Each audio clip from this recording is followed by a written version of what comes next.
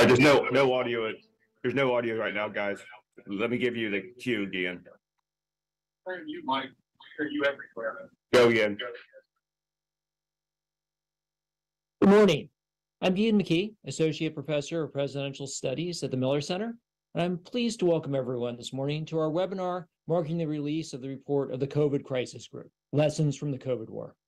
This report is the culmination of nearly three years of work by the COVID Crisis Group, seeking to understand the nation's response to the COVID 19 pandemic, to draw lessons from that experience, and help us prepare for the inevitability of the next pandemic. I'm very pleased to welcome our three guests, all of whom have played important roles in the work of the Crisis Group. First, our own Philip Zelikow, the White Burkett Professor of History here at UVA, former director of the Miller Center, and the chair of the COVID Crisis Group. Professor Zelikow has a long and distinguished record of both scholarship and public service, most notably for our purposes, serving as the executive director of the 9 11 Commission.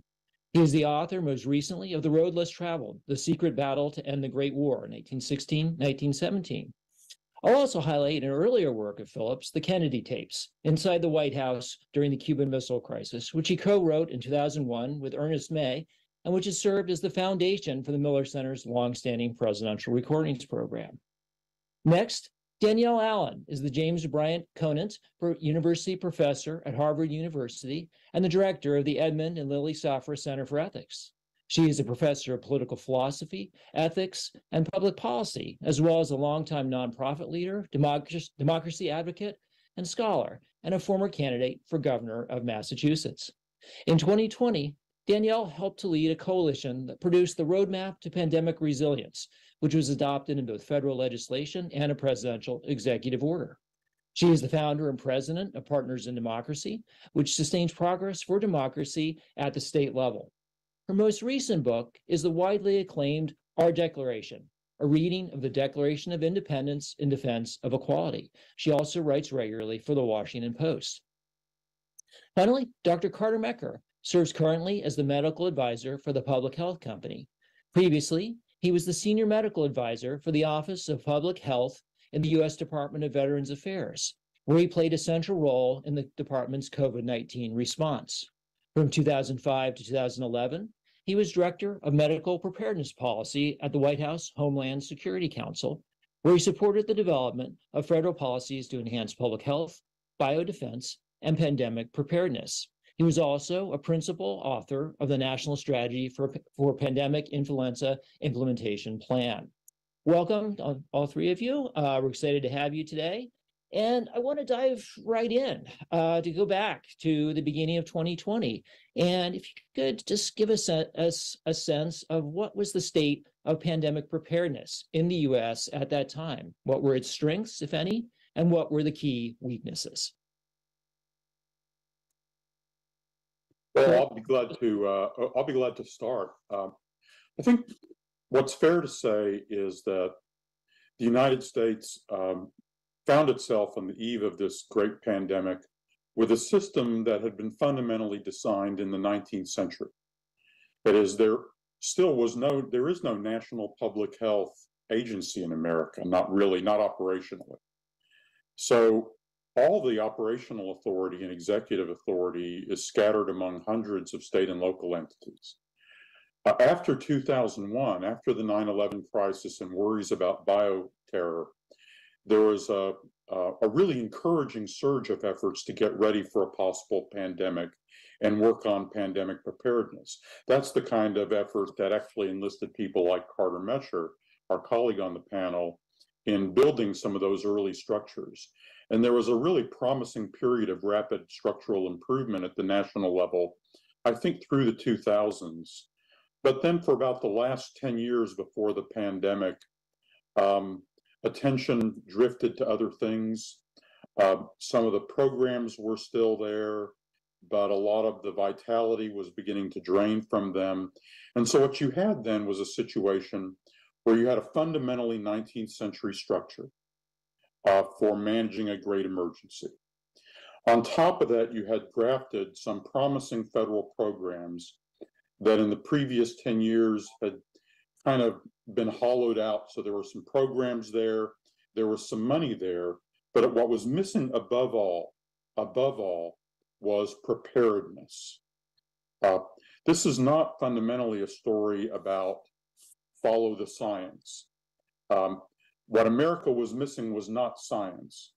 What America was missing was not actually money. We were willing to spend um, more money than any other country in the world. The biggest challenge was knowing what to do if we faced a great emergency and then being able to do those things um, quickly. From prevention and warning all the way to mounting medical countermeasures.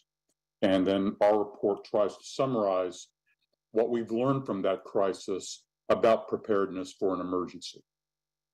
I'd add a few few more things. The, the federal government, the state and local governments, and, and many businesses had developed pandemic plans over the years, uh, since all the work that was performed back in 2006, 2007.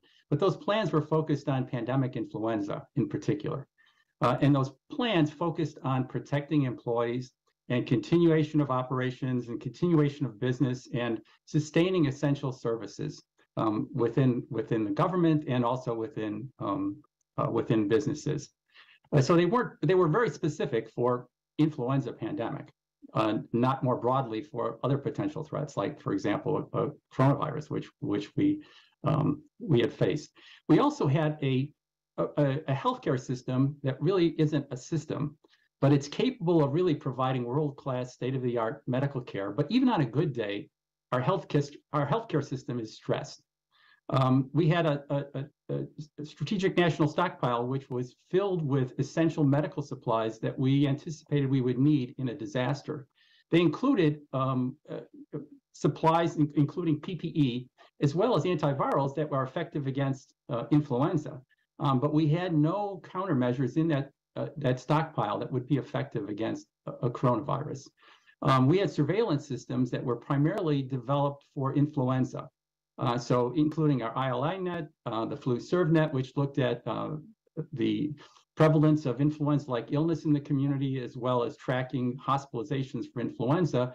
But those really only sampled about 10% of outpatient visits and about 10% of the population in terms of, of hospital care. And the data that we received from those surveillance systems was frequently a week or two old. Uh, and so the surveillance that we had going into this pandemic was equivalent to making decisions today with a weather report you received of what the weather was like one or two weeks ago. And so it was challenging. So I'm really glad that Carter made that point about the orientation towards influenza, because that was really very fundamental. But it's connected to the point that Philip made about whether we were prepared to respond in the context of an emergency. Because what the fact that the work had been done around influenza meant was that in new conditions, new thinking was necessary. And that's really what that preparedness is about. Do you have the leadership processes? Do you have the political infrastructure in place, the political conditions um, that can support rapidly rethinking how you're going to respond, rapid coordination across jurisdiction, across a diversity of contexts, and the like? And so the third um, lack of preparedness element I would put on the table does relate to our political ecosystem. We entered into the pandemic with a significant polarization without leadership, either in the White House or in Congress, in all honesty, uh, that particularly wanted to sort of try to figure out how to pull together in a bipartisan or cross partisan way. Um, you know, we were not that far off from an election. Um, and as a result of that, uh, decisions were just kind of constantly being analyzed um, from the perspective of what the political consequences would be.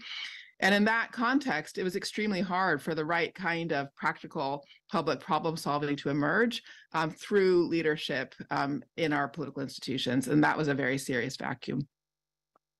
So, with those conditions in place, where did the key breakdowns take place once the pandemic actually hits? Is it mostly at the federal level that the, the real problem exists, or is it in other areas of the system, or is or is it everything? Everything. Um, oh, actually, think about it for a second. So, uh, what the, what was the system for warning us of an outbreak? Uh, that was supposed to be national reporting of an outbreak uh, under international health regulations. That was the whole strategic concept for how that was supposed to work. So that system decisively failed. Our report tries to envision an alternative system. Okay, um, how about um, containment? uh, the containment system to try to keep the pandemic out of the United States, which would have required uh, really fast action at the national level. Um, then that also failed. Uh, then uh, uh, you have federal crisis management, which failed. Then you had the federal government aban- abandoned crisis management, and federal crisis management collapsed in April and May 2020. The situation then fell on the state and local entities that were these anachronistic designs. They were immediately overwhelmed and um, also kind of been substantially failed.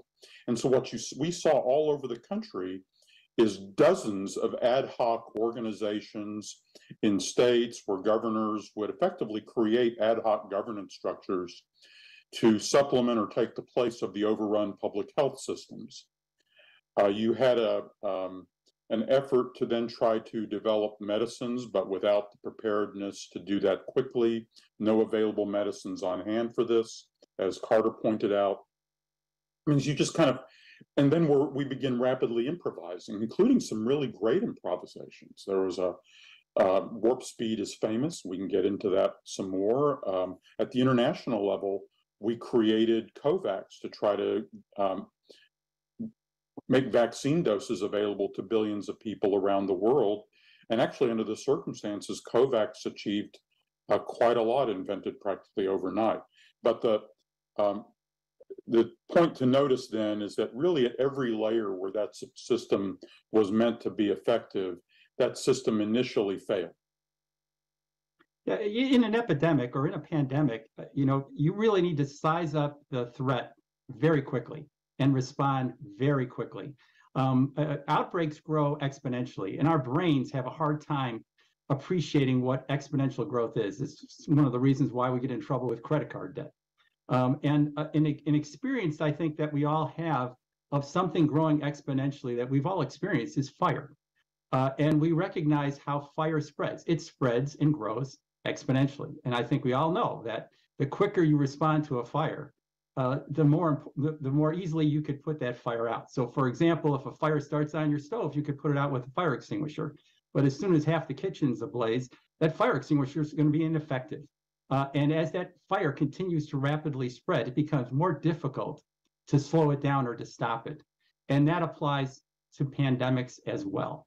And if you take a look at at the the opening months of this pandemic, you take a look at January, February, and March we were very slow to recognize the scope of this threat and very slow to respond. We were slow to really get on a war footing. It really took us about two months. And one of the additional delays I think that added to, to the challenge was the delay we had in testing. And without testing, we were essentially flying blind within those first few months of that pandemic. And if you compare, at the end of February, the United States had performed about 4,000 tests, COVID tests. If you take a look at South Korea, South Korea by the same time, by the end of February, with one sixth the population of the United States, had already uh, already established 500 testing sites and it, and had tested 100,000 people. Uh, so 25 times the volume for for a country that's one sixth the population. So, if So I, I think- just cut in before you, Danielle, because I'm actually going to tee you up, is in response to your question, again about sort of what failed. Um, Danielle's whole role in this crisis, because I don't want she may not want to brag on herself, but she was one of the people who in March 2020 stepped up basically to create ad hoc work uh, because of the government failure. And she then formed a group with others, say, well, since other people aren't coming up with toolkits of what to do, I'm going to organize it myself. So uh, again, since she might not have been eager to brag on what on the role she played, I wanted to kind of introduce her in that context. She was she was part of that improvised response. I appreciate that, Philip. It's true. I was not going to talk about that actually, but I appreciate your mentioning it. Maybe I'll say a little bit about it. But what I was going to say was, I just, I, I was going to point to that moment where the testing failed, where the CDC failed to get a workable test for the country when other countries were already well underway. South Korea, Germany had made good progress and the like. And the reason that's so important is because I think it helps us think about this sort of how we understand what does it mean when Philip says everything failed, right? Um, how dire is that? How dismal is that? In my own view, there was a lot of weakness throughout the whole system But I think Carter's fire analogy is exactly right. And if we had had that piece working, the surveillance that you need to have the intelligence, actionable intelligence that you need early on, I actually think the other things might not have suffered from their vulnerabilities to the same degree. So, in that regard, I really think the thing that failed fundamentally was the ability to, con- to create and make use of actionable intelligence. Um, that is what I would sort of put at the heart of the story. So, yes, it's true. I mean, I think a lot of us in March were seeing that that was the case, and we were seeing other countries move effectively. And it was a very strange feeling to be sitting in a university, just a sort of civilian in civil society, and feel like, you know, like, oh, you know, somebody's got to do something. So let's just see what we can do because that is what it felt like. It really did feel as if there was a vacuum um, from the federal government. Can you expand on that? What came out of that and the, the concept of the public health toolkit and how, you know, as, as we, particularly as we look to move forward, it can get us around some of those uh, binary choices that we seem to face during the pandemic of lockdown forever or reopen immediately to save the economy. Some of those kind of highly polarized really unfortunate debates. And you know what does the toolkit offer well, so I appreciate your framing it that way. I mean, the, the way we got started, so I run an ethics center uh, here at Harvard, and one of our former fellows many years ago was Ezekiel Emanuel, but he continues to be a friend of the center. And so in February, when I was watching everything unfold, I called Zeke and I said, you know, it looks like there's a lot of work to do. We're an ethics center. What could we possibly do that would be helpful? And his response was everybody's stuck on the question of whether we should be protecting health or protecting the economy. So maybe you guys could help think about that. So that was sort of what we set off to do in the first instance was just to think through what people were taking as a trade-off. Um, but as we did that, and it was you know no more than a week did it take us to realize, to Carter's point, that the right analogy was a war analogy. And in a wartime context, sort of a set of existential questions, there's not a trade-off between the economy, for example, and you know fighting the war, protecting life, or between health and protecting the economy. We, we couldn't do anything we needed to do without a healthy economy in an important way, but nor can an economy be healthy without people uh, being healthy themselves and having their lives protected. So we realized our job was to really sort of shift the focus and help people think about how to align the goals of protecting lives, liberties, and livelihoods. And the minute you make that flip, it was just sort of very obvious um, that you need that intelligence from surveillance to see where the disease is, to try to connect that to responses i mean building towards vaccines but then also therapies um, as quickly as possible um, and to let people have the tool to see where the disease is so they can protect themselves. So that did lead to a toolkit that was around the use of testing and figuring out how to ramp up production so that we could deliver at the level that we needed.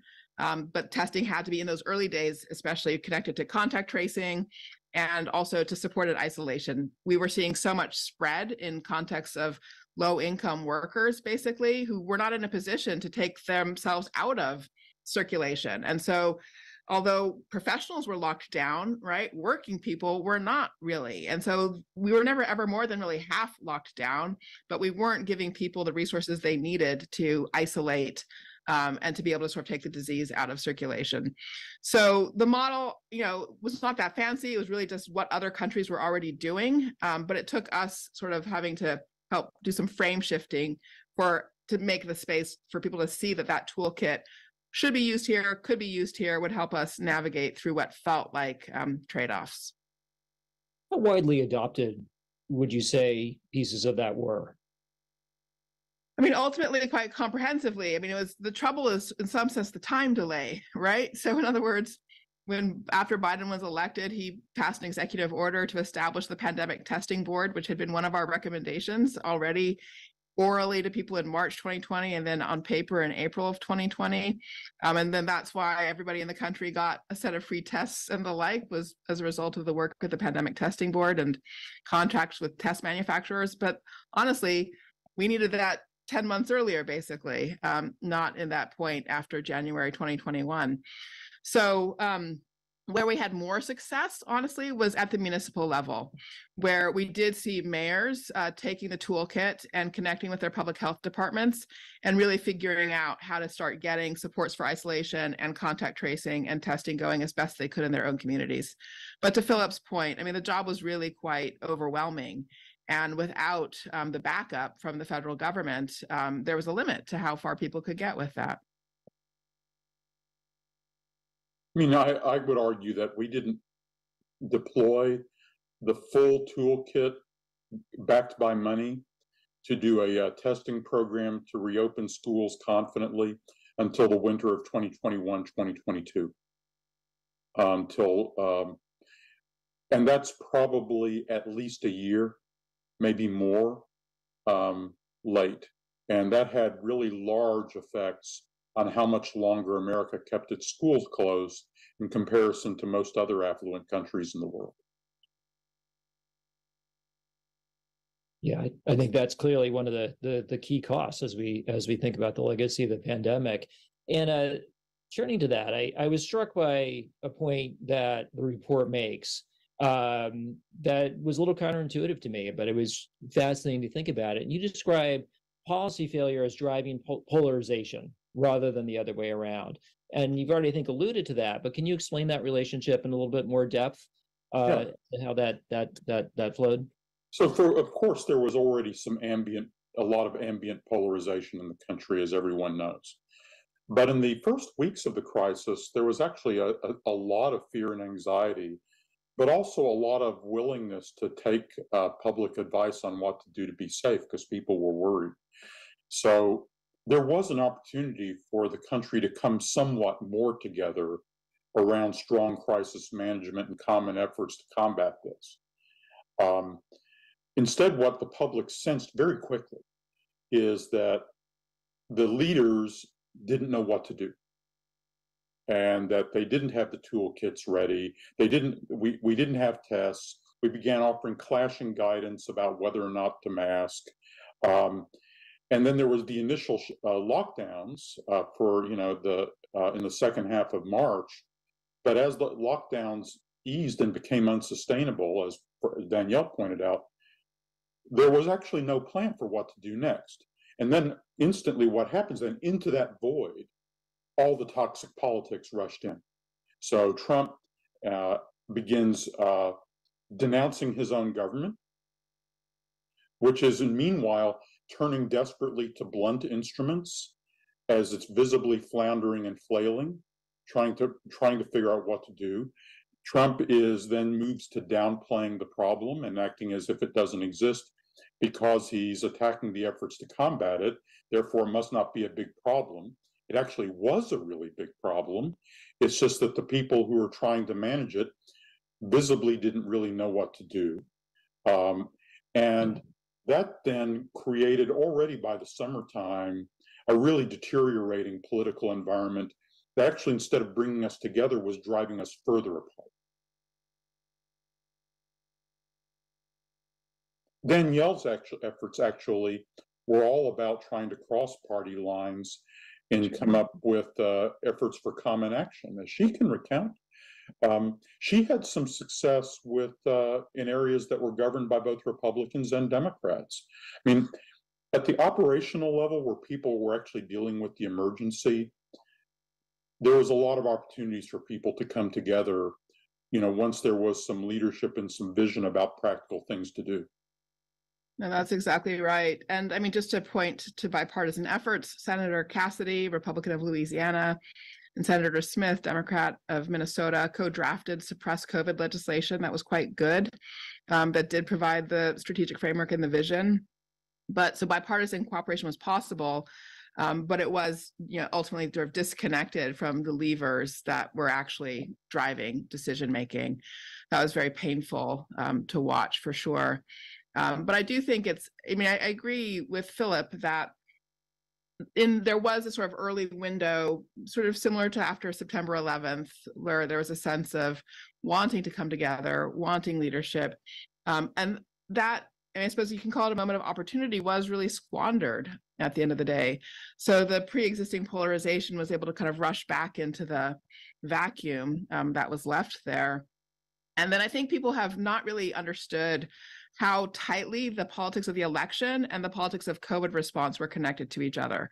So for me, one of the hardest things to watch was the fact that um, in May, when Congress put forward a package of COVID response items, the package, the, the legislation that I believe was the HEROES Act that was put forward, um, also included election related policies, for example, funding for the post office um, and things like that.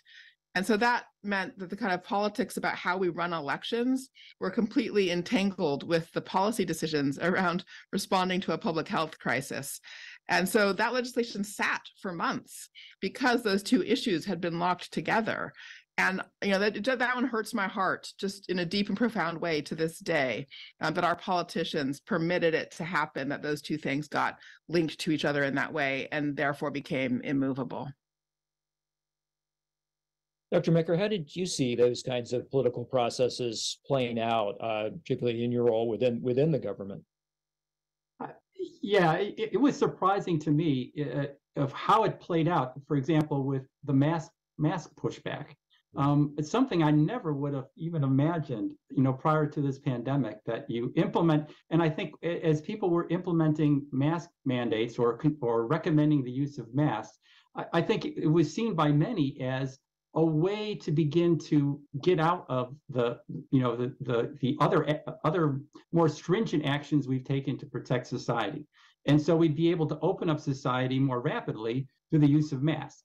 Uh, and what was surprising to me is how that became so twisted around and became so polarized. Uh, and the the the, the camps of, of masking no masking when it was it was a it, it really was a a um, a strategy that really was helping us out of of some of the some of the you know the, the really stringent actions we had to take to try to slow down disease transmission. So uh, you know during this pandemic that was really one of the one of the surprises was the the, the take on masking.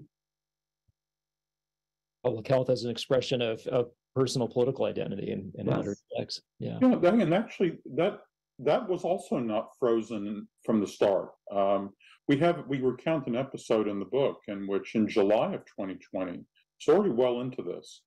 Um, Republican pollsters came to President Trump and said, uh, "We think you ought to really come out strongly and advocate masks." And actually, they had polls showing that the large majority of Republicans supported that. This is July 2020. And Mark Meadows, then White House Chief of Staff, said, Yeah, but it'll really piss off the base. And that was that. Then, of course, Trump starts doing things like ostentatiously tearing off his mask after he comes back from the hospital, where he was really quite seriously ill from COVID himself and had probably contributed to infecting other people. Let's turn uh, to what's typically seen, I guess, as the uh, the great success of the U.S. response, Operation Warp Speed. And the report, I think, doesn't disagree with that, but you do argue that the lessons are somewhat misunderstood, the true lessons of Operation Warp Speed. And I wonder if you could all speak to that and what that means, what we take moving forward. Well, the um, warp speed is above all a lesson in how to think about the relationship of government to private to the private sector in a giant emergency. Um, Warp Speed built on a lot of government investments and research, um, including things like the mRNA platform that then really paid off in the crisis. But a lot of people have this image of Warp Speed in which they think of Warp Speed as a research and development program. But actually, what Warp Speed, where Warp Speed really scored was not there at all. In fact, Pfizer did not participate in the research and development side of Warp Speed at all and developed its vaccine on time. Where Warp Speed scored was as a program to manufacture the vaccines on a gigantic scale. And that part of the program also eventually included Pfizer too. The other thing Warp Speed did is it developed a way to distribute the vaccines on an enormous scale using uh, the network of drugstores in America, a plan that was partly developed by a gifted employee at the CDC. So those were landmark successes uh, in manufacturing and distribution. Uh, Warp Speed then failed to develop a public campaign to persuade people, help persuade people to take the vaccines.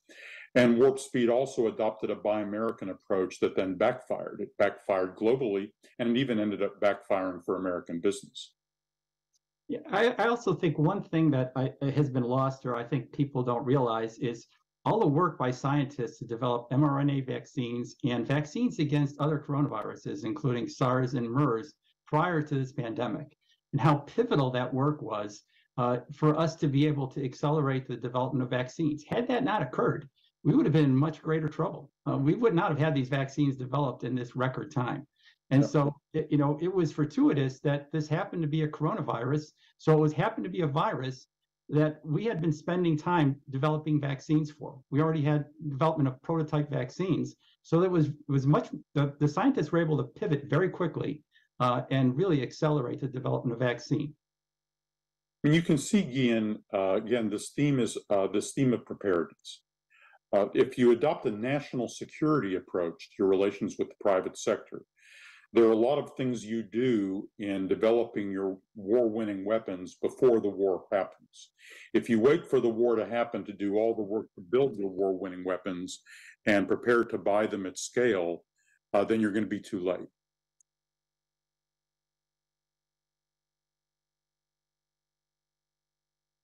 Let's think- start, Well, just a footnote there. I mean, the the other really important point of that though is right. You need your full arsenal, so to speak, and exactly the kind of arrangements that worked well in the context of vaccine development were absent in the context of testing. And the contrast to South Korea there is really really strong.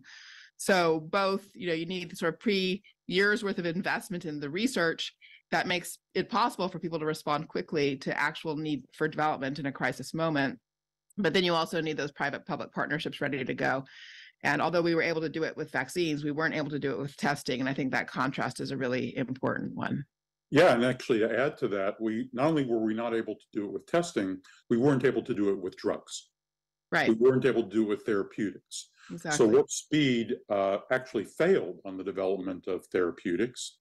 Um, we failed to make the advanced market commitment to buy huge amounts of Paxlovid when it was being when it was developed in early 2021. The result being that when the Omicron wave hit at the end of 2021, we had almost no courses of Paxlovid available, and we also had no plan for how to tell doctors to use Paxlovid once we made it available.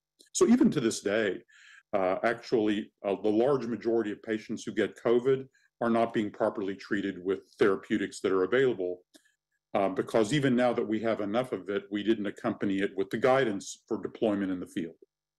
i think this is a really important point as we think about future preparedness because it really is this trio of diagnostics well, i should put it in a different order prevention vaccines diagnostics and therapeutics. And this is a place where i actually think the public health field itself requires learning and growth. The public health field has been very oriented towards prevention and has really seen that as its job. And so it really sort of under um, emphasized the importance of also paying attention to and engaging in therapeutics.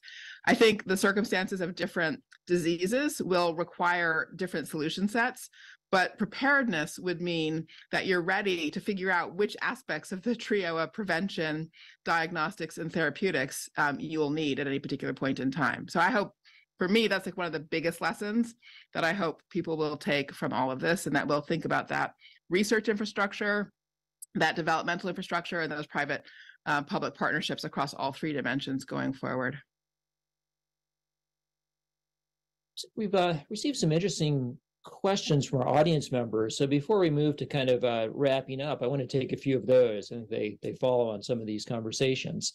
Um, Ellen in our audience asked whether part of the problem was that the leadership of the CDC is a political appointment.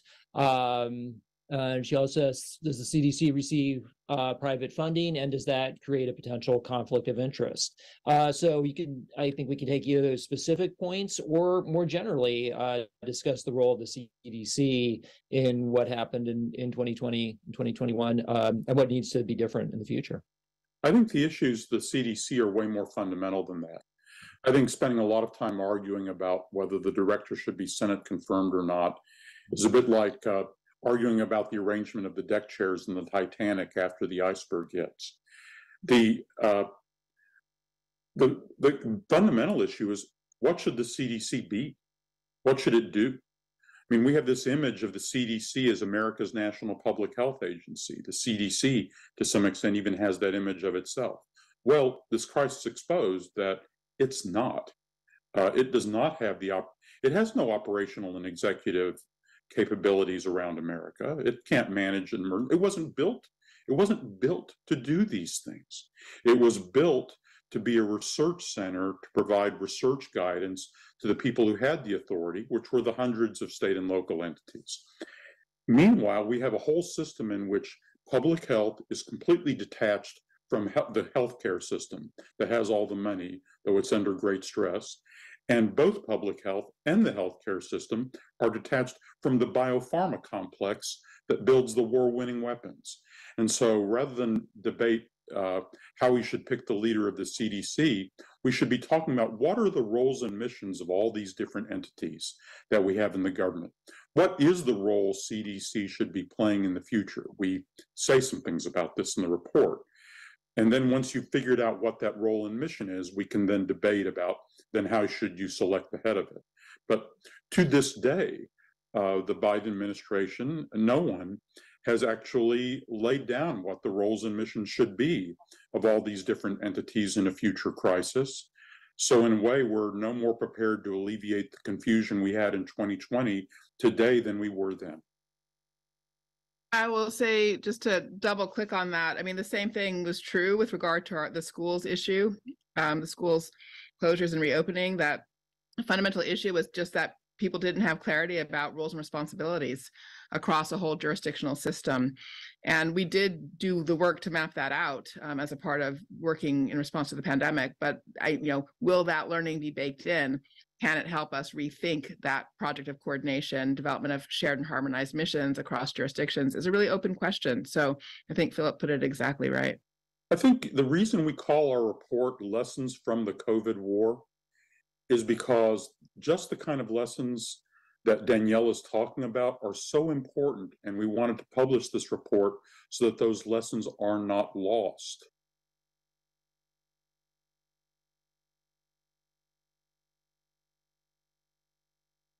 A question now from Isaac in our audience, and we've talked a bit about other countries, um, but he asked, "What can the U.S. learn from other countries that were better re- prepared, that responded more effectively?" Is there anything we haven't highlighted that you know South Korea or Germany or Japan did that would fit into this, into the response you're suggesting? I'll add one thing, which is really just to put a name on things we've been talking about, um, which is about how federal systems operate. So I'm thinking here specifically of Germany and Australia. They all operated their federal systems better than we did ultimately. So, for example, Germany, one of the very first things they did was set up sort of data systems. They made sure there were sort of new computing systems in all of their local public health agencies. Um, they made sure everybody was ready to be operating with the same data platform for responding to the pandemic. We did not do that. Uh, we have not had the capacity to do that. It is still not on the agenda as a thing that we should be doing.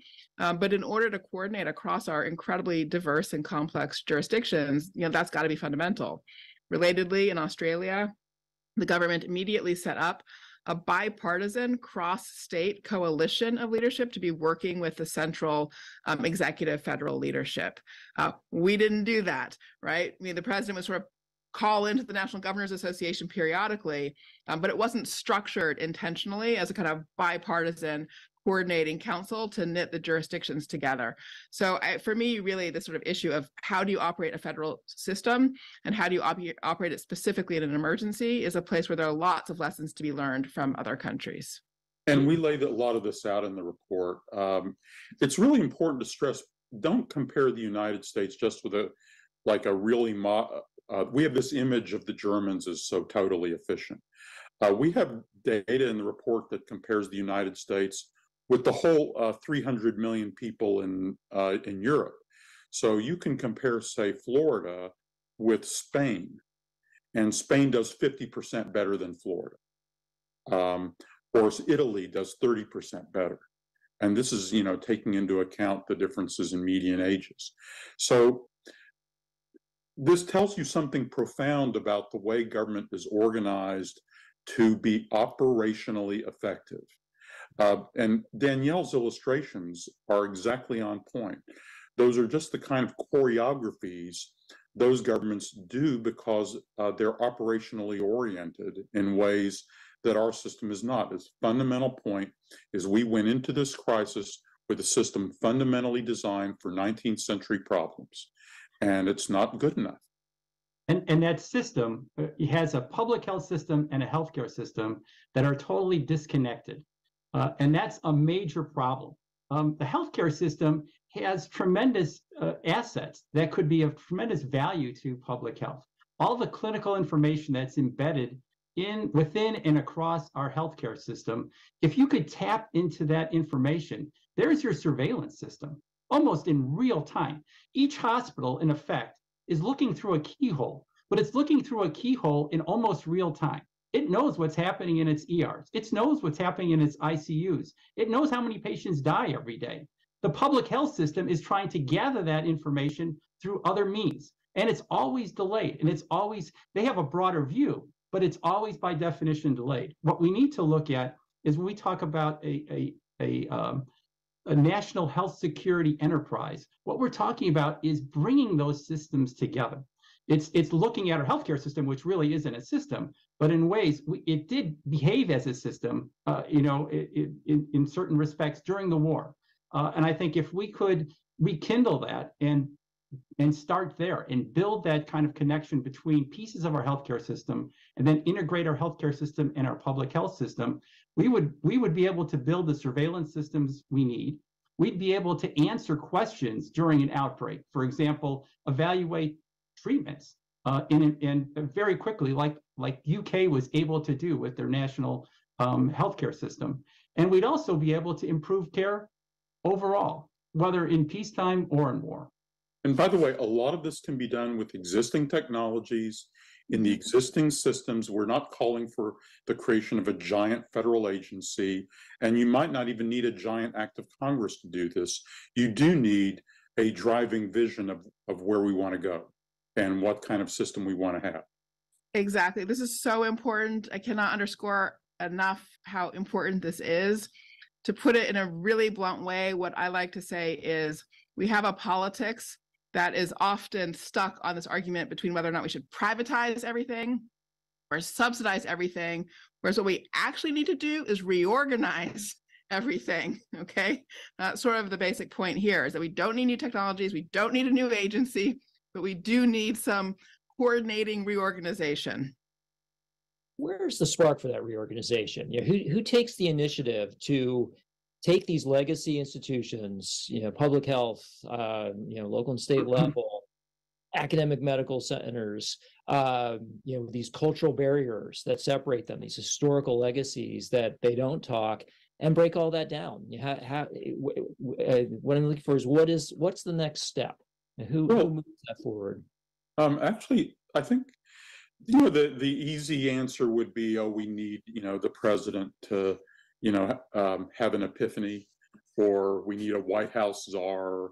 Um, actually, the way change happens is through reports like ours. You cannot read our report and not come away with it saying there's all this low hanging fruit, and you come away with it with a better idea of what to- what needs to be done as lots and lots of people get that insight all over the country at all levels metro medical center state local people working on congressional staffs. Once there's just more and more of a shared understanding of the way things need to work um, then actually the, the change then that's one of the ways change happens. It doesn't uh, often it doesn't happen from you know the uh, the woman or man at the top issuing the grand order. Others, other thoughts on that? Yeah, I would build on the the you know the efforts that started during this pandemic with the cells that were formed locally. Uh, I think that's where it has to grow. It's going to have to be more organic. I, I don't see it starting top down. What I see this is it starts to emerge organically, um, and and I think it builds up steam. Well, I can confirm it's happening though too. So I serve on the board of an entity called the Cambridge Health Alliance, which is a, a local medical system, healthcare system, public system. It's um, originally built by the city of Cambridge. It now serves a set of municipalities, and it also does run the public health department for Cambridge. But one of the durable consequences of the pandemic is now public health is being integrated with healthcare inside this entity.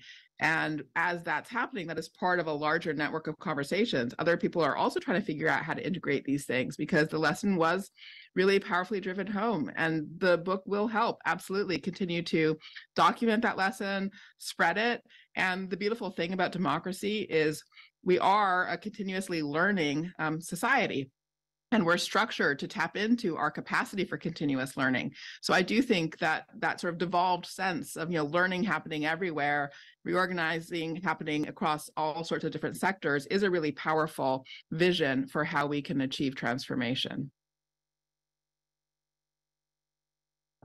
What, um, so be, beyond those steps, what still needs to happen to get us ready uh, for the next time, whatever that may look like? Well, let me just um, bring the subject a little bit to the global side and to the medical countermeasures point. We talked a little bit about warp speed a few minutes ago.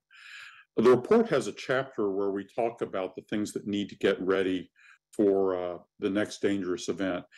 And a lot of it is uh, research and prototyping manufacturing at scale across a number of different families of viruses, but also being prepared to do that on a global basis.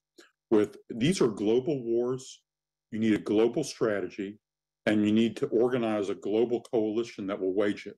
Just a handful of countries and regions will end up doing the decisive research and manufacturing. But if they have the global view in mind and pool their resources, we can be much more effective in doing the advanced work so that if the next crisis emerges, we really can achieve the goal of the vaccine is ready in 100 days. Um, does that require spending money in advance like we do in national security? Yes. But the virus, this, this war taught us that when economists say that pandemics are one of those few things where you spend billions to save trillions. That's not hyperbole. That's actually what happened in this crisis. Yeah, I think, you know, Richard Hatchett, who is the CEO of CEPI, the Coalition of Epidemic uh, um, uh, Preparedness Innovations, um, talks about a vaccine library of building on the success that we had with the with the vaccines that were developed for coronavirus that all the work that was done prior to the pandemic on coronavirus really accelerated our ability to develop those vaccines. So his point is do the same for other prototype uh, viruses so they looked across you know the 260 viruses that that affect uh, human beings and identified 25 uh, virus families and talk about a focused effort of trying to develop prototype vaccines for those 25 viral families, and perhaps starting with just 10. Um, that's going to take time, but you begin to build there. So in the future, if a pandemic occurs, we already have a library of prototype vaccines to really accelerate our production of, of countermeasures. His goal that he talks about is that 100 day goal, a 100 day mission um, to end a pandemic. Just think how differently this pandemic would have been 100 days from the beginning of January. That's the middle of March. Could you imagine if we were able pr- to produce at scale a vaccine by the middle of March 2020? How differently this va- this this entire pandemic would have occurred? Uh, that's the that's the far you know the, the long range thinking that we have to have in terms of how we approach the problem of pandemics of really of really pushing ourselves to really some of those stretch goals. And I'll throw one more thing in the mix, which is rather different in kind from what we've been talking about. But all of the quality of our political decision making um, is directly correlated to what I call civic strength. Um, generally, the sense of do we have a good understanding of our institutions, of our society? Are we capable of cross partisan compromise and decision making together and the like? Those things would all be considerably improved if we actually had robust investment in civic education in the country. Um, and it's interesting that the Department of Defense has actually just started trying to invest in civic education for Americans generally because it recognizes the fact that we have not invested in that fashion for the last 50 years as one of our most significant vulnerabilities. You know, we haven't talked at all about the issue of the origins of the virus. And uh, you, um, your viewers should know that the report does address that. And I think we provide a dispassionate and pretty reliable guide to the controversy. We don't come down hard on either of the major theories for the origins. What we then say, after kind of going through the evidence, is that it all drives you towards the same forward looking agenda. And the forward looking agenda has to do with kind of relying on a different system of global surveillance for out to determine outbreaks, not on, on national reporting. And the other part of that agenda, which is very important for the future, is we need to get a handle on the riskiest biological research. Um, we are engaging now at a frontier of biological engineering, uh, doing things that were technologically impossible even 10 years ago. And there's some immensely dangerous possibilities out of all this that and this crisis and the controversies remind us about what those possibilities are including possible links to frontier ai and a number of members of our group are working on this problem of how to um, get at uh, the frontier of biological research. Only a handful of countries are at the frontier of this right now and so it's it's possible to try to make progress here but we really need to get to work on it. So is it fair to sum up the the origins controversy then that um, uh, we should really act as though both theories were true in terms of our future preparations, whether animal- right because we don't know which one is true, and so we need to make preparations as if either could have been true. Uh, and in fact, either could have been true or could be Right. true in the future. So, uh, yes, we should pursue both.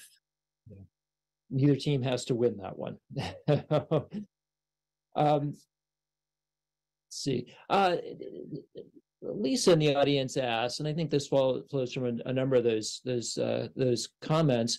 But what is the appropriate role for the private sector in these preparations? And what what more needs to happen on on the private sector side? well, it's huge. Uh, remember, Danielle was talking earlier about the significance of the testing issues. And then uh, Carter was giving some of the different numbers, US versus South Korea.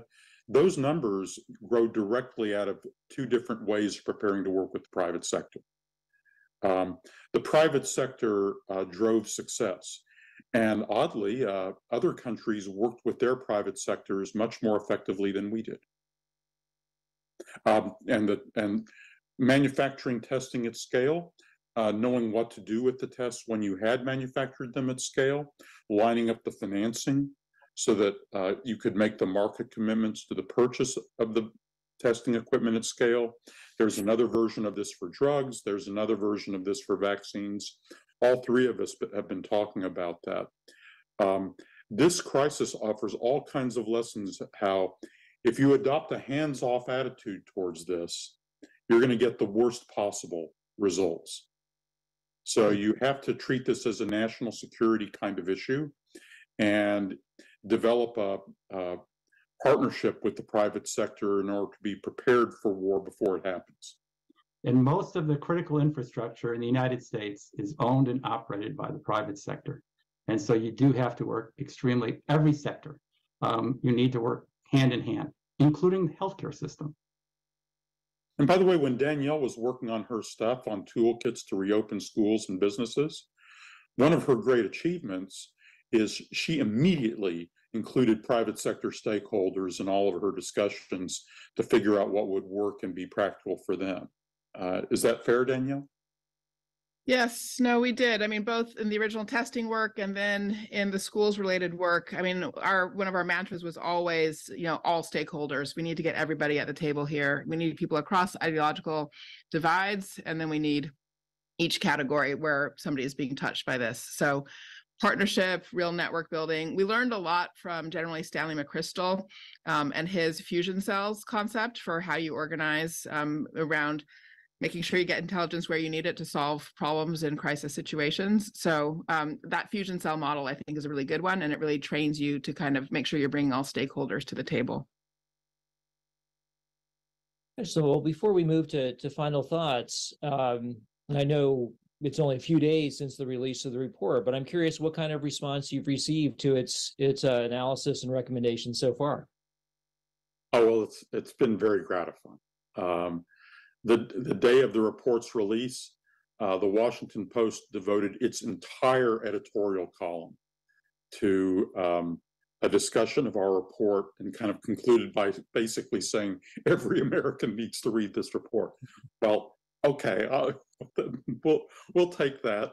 Um, and then there just have been a number of and and the and the responses to it have not broken down along partisan lines. There was there was a really interesting House hearing uh, uh, about a day ago where um, Republican congressman was grilling the head of the American Federation of Teachers, Randi Weingarten, about school closures.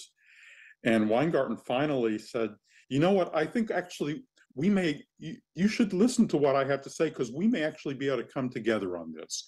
And the way we may be able to come together, she says, then she grabs a copy of our report and holds it up and brandishes it. That if we'll all just do what's in this book, we, we um, we can all come together. So uh, I guess that's a good response. Um, and people are beginning, uh, actually, that people are buying it and reading it. They're discovering that it's direct and it's accessibly written. It's uh, doesn't talk down to people, but it's jargon free.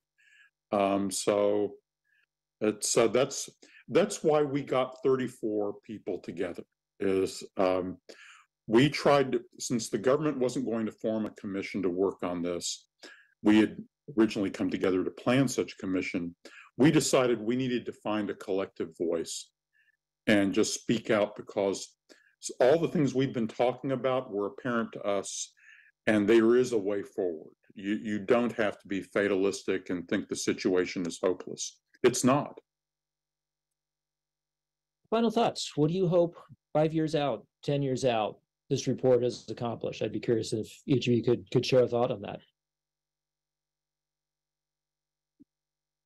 Oops. Five years, 10 years, is that the time frame you just gave us? Uh, you could choose choose your your, your preferred time frame. Yeah, well, let's say five years, I guess, because preparedness is that important, right? That you want to act with a sense of urgency.